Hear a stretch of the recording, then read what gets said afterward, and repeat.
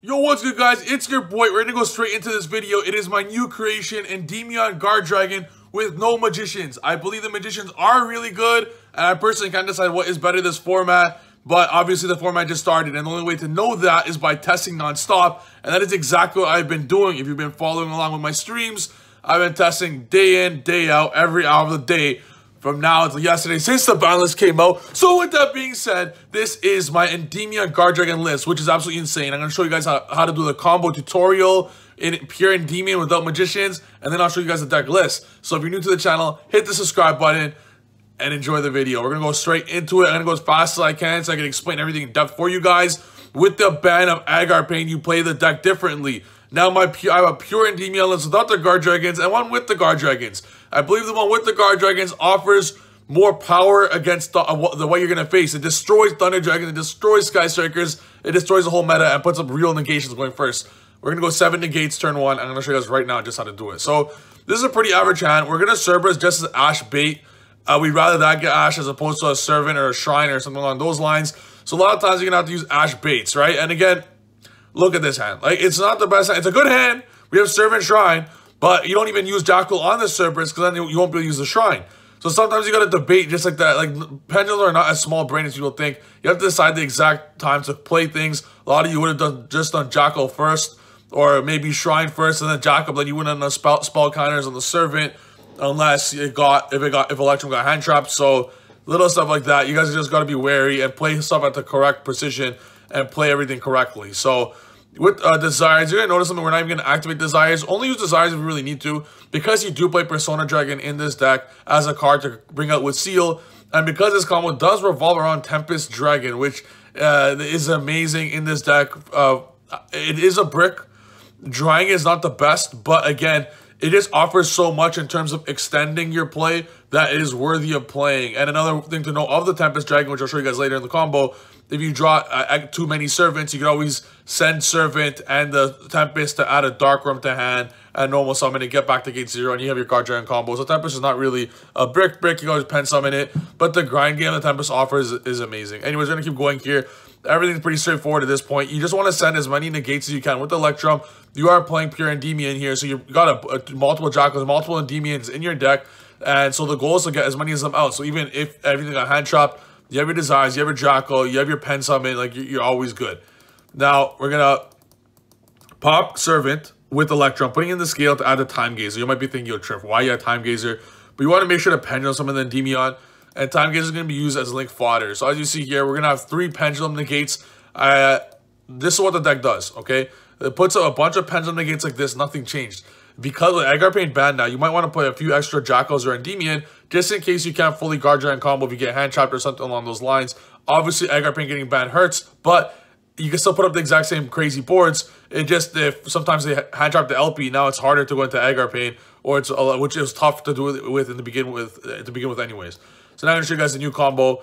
Uh, go Elpy, Electrum, that triple burst, Elpy, bring out Destrudo, simple. But now what you're to do is instead of going into Agarpain, you're to go into Romulus, Romulus adding Ravine. And now I'm not even going to use Desires at all in case you banish Persona Dragon or the Tempest, which is gonna you're gonna lose a negate by doing so, and you don't want to XYZ away with the Endymion. So you're just gonna straight up, you don't need the desires whatsoever. You have to avoid it as well. So what are you gonna draw? You're just gonna set spell cards. So ravine the desires. Sometimes you gotta do big brain planes like like that. There's a lot of big brain plays that a lot of you guys wouldn't have done in this very simple hand that didn't even have that many big brain plays to begin with. But a lot of you guys, a lot of you, the reason you guys aren't playing good with the deck is because you guys just are misplaying with the deck. And if you notice the whole deck, the only search spell card we have is Mastery. This deck, the only search spell it runs is just Mastery. It absolutely obliterates Thunder Dragons. Like, Thunder Dragon is the bye against this deck. The deck just does not search, which is the one thing that I love about this deck. It just makes Sky Strikers and Pure Thunder Dragon, the two decks you'll be facing the most this format, I believe, just a, a bye. Now, you're going to activate Tempest Effect, which has two dragons in there from Triple Burst and the Elpy to bring it out. And uh, now you're going to be able to make Absolute, and you guys kind of see where this is going. Now the Absolute and the Romulus, kind of like Agarpain, will now bring you the Seal and the Vortex, kind of like Agarpain didn't even get banned.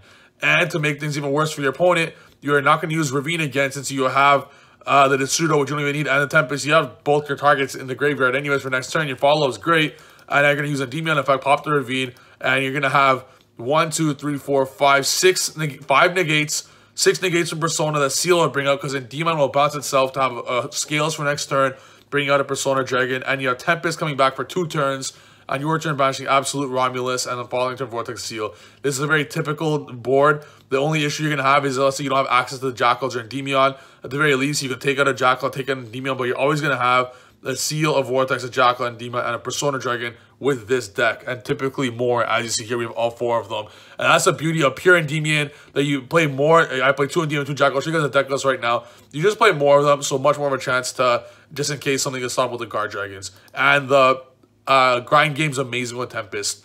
Anyways, gonna show you guys a deck list where we play three servant, obviously, just one Magister. I understand pure, pure, pure Endymion without guardragons and, and stuff runs way more, but I will show in a later video uh, my spellbook Sky Endymion, which is insane, which utilizes a bunch of cards that hold spell counters and just a bunch of cards that three, two to three spell counters just by one card, and you resolve these cards like crazy. But for this version, one Magister is all you need. You don't want to hand a Magister, Curtain Razor stuff, but Curtain Razor, Chronograph are insane. They uh, do so much. They are not only pendulum cards, they are spell cards. So they do what these spell cards do because they lead the scale, but not just that. They're also turbo cards and they're pendulum cards. So it just offers so damn much to the deck. And a lot of times you're getting Darkroom Engraved to add Gate Zero anyways. So the high scale is what you're missing sometimes.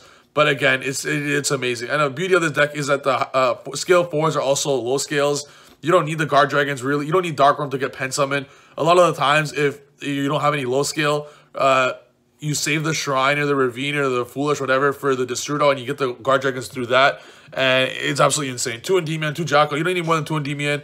You're not going to banish both. If you banish both, big deal. If you banish, it's not going to happen. But if you banish one, one is all you need. And then two Jackal is all you need. We side the Garuda for the two Cerberus. Cerberus getting Ash is amazing in this deck. It's just a bait. Scale 4, like I said, is a low scale in this deck. Double Darker, one gate 0. Uh, it's all you need. Uh, I understand a lot of times you want to normal summon the Dark one, but you don't want to run the risk of bricking with it. Drawing the Dark Room is not that good. Uh, you just want it in the deck, but drawing drawing it is just whatever. You don't you don't want too many cards like that. You just want all spells or the best hands are spells, servants, magister. The first line you see here, the best hand is this. The best hand is the first line and all the spells. Those are the best hands with the Cerberus. Uh, having one or two Jackal and Endymion is fine, and one of these are fine. That's okay. It's okay to draw them because most of them are scales, or, or you just pen summon them. But uh, the hands that break through interruptions are the spells and the front row, or the front column, front row, yeah. Anyways, we're going to move on. One Persona Dragon, uh, because uh, you do lose negation from Agarpain, you still put up negates easily, but you definitely want the seal to build. You want it to be worthwhile to go into the seal. You don't want to go into the seal and just have a seal effect. You want something to come out from it. And Persona Dragon is definitely very, very good. It is exactly what Aether does, going second even. It ban it, it negates the card that uh, Aether is going to banish. Uh, it's so easy to get rid of it cards with this deck that you don't got to worry about banishing it and it's worthy of having the scale 1. And even though Aether is a scale 4 and it is a low scale for this deck, it's still you'd rather a low scale in the deck like a Persona Dragon, just in case. And it, Persona Dragon deals with, uh, uh just being able to pendulum something if you draw is great. It's just not a brick at all, whereas Aether is a brick. Destrudo great, Tempest great. Tempest is the only card that says a brick. Destrudo definitely not a brick. It makes a guardragon combo easily. But Tempest is so it you send him a fool, you send him a shrine, send him a it's amazing. It's just part of the combo. It's an extender. You definitely need to play it. I thought you don't need to play it, but I thought you don't need to play Persona Dragon either. But again, we're not playing last format. After testing all day, I realized that you do need to play the Tempest and the Persona Dragon. Uh, or Aether, whatever you personally want, but I think Persona is just better than Aether. Uh, triple mastery. I debated playing two mastery because you don't want to see double spells, but it's just such a good card. It doesn't matter. And at the end of the day, Ravine discarding some card anyway, so it's fine. One Ravine, drawing it sucks. I'm debating playing two Ravine over two Desires. That's actually why you guys saw that. I just took that out. But two Ravine, two Desires might be optimal because sometimes drawing it, you do miss out on being able to searching it for free. But searching it for free with Romulus is gigantic, especially with Tempest and Destrudo. It's just a new way you play Pendulums. You have to do it. It's just insane. Uh, it's too good not to play. The, the fact that Agarpain's banned, you got to do it. One Foolish Double Shrine. One Upstart Triple Desires. Like I said, playing uh, trips of Mastery and Desires might be iffy, but you do want to see them every single hand. And even if you draw doubles, Ravine will discard it after you search it. Triple into void, triple allure. A lot of you aren't playing into the void. It's uh, it's nonsense. You must play it. It's not even debatable. Allure, if you're playing Chronograph, Foolish, Dark Worm, uh, Curtain Razor, play Allure. But if not, don't. The fact that Curtain Razor, uh, uh, Chronograph, and Allure is huge, man. They're, they're amazing. Next, the side deck. This is my side deck for a few of my decks. Triple Lava Golem, Triple Super Poly, destroys Thunder Dragon boards. If you notice with Thunder Dragon, you only have three search spells. That's it. Nothing else searches in the deck. Everything, single thing else is live against uh, Thunder Dragon. It is so easy to destroy that deck. I can't even begin to explain how easy it is to destroy that deck. I did it live on stream with the worst hand ever. Uh, all you gotta do is just take out these three masteries for three Lava Golem, three Super Poly. You can take out any three cards you want uh, that you like the least. Going second, I take out Tempest and Dragon Ravine, but so you can leave it in as well. It's pretty good to have as well. It's just too easy to destroy that deck. Uh, Thunder Dragon's literally the bye. Two Dinowrestler, you have eight cards now against good negation decks like Thunder Chaos or Pendulum, the best deck in the planet. So you now have eight of these. Uh, versus Orcust, you have these six. Versus Lava Golem and Super Poly, uh, you have Lava Golem versus Salamangreat and any combination of Reboot and Dinowrestler for the back row, making sure that their Salamangreat traps are useless. And you can Borrelsword the Lava Golem. So Lava Golem definitely huge. Uh, doubles Secret Village 1 Terraforming. It makes strikers even easier. This deck is built to destroy the meta. It's built to destroy Thunder Dragon. It's built to destroy Sky Strikers. It already destroys Sky Strikers enough, but now it's even easier. And on top of that, going first, you do want access to the Secret Village and the Terraforming, just in case your opponent has Super Poly or Dark Ruler, which we will be playing because of Thunder Dragons. So I would actually take out three Desires and two Secret Village, and, and put, in, put in two Secret Village, that's it, for let's say two Desires, something like that, going first, because you don't want banish comp pieces going first. One Garuda for comp, for, uh, for control decks going second. And one Starving Venom. L, uh, Electrumite Elpy, triple burst seal. Uh, that's all you need. B cop. You don't need Pisty, by the way. Pisty is cool to have, but my, I have a combo where Pisty brings a triple burst. You link away the Pisty for Romulus, and eventually Romulus triple burst go into uh, uh, Apollousa, but we'll get into that for another combo. There's lots of crazy combos with both this and the Magician version. I'll be uploading a Magician version later today but it's amazing. Saryuja is definitely very clutch for Pure Endymion. Uh, Romulus, huge, must play it. Absolute Vortex, must play Absolutely must play it. Dragster, Arcanite Magician, I gotta bring up this card. And Pure Endymion, this card's the nuts. This card equals Yazi Mermer in Magicians. I don't like Yazi Mermer in this deck because you don't have Harmonizing and you don't have uh, Arcanite Magician, which is insane. You take the scales that are on, uh, like Cerberus, you take the counters on Cerberus, Jackal, Magister, Servant, whatever, and you could use their counters to destroy cards in the field. So Arcanite Magician does exactly what Yazi Mermer do does in Pure Endymion. So you gotta play one or the other. Yazi Mermer and Magicians, Arcanite Magician in Pure Endymion, and it's absolutely insane. I, I on stream I pop five cards or something with it. After you negate you, negate all the interruptions, you go Arcanite Magician, pop everything, and if you really want to, after you go absolute, it, it's absolutely insane.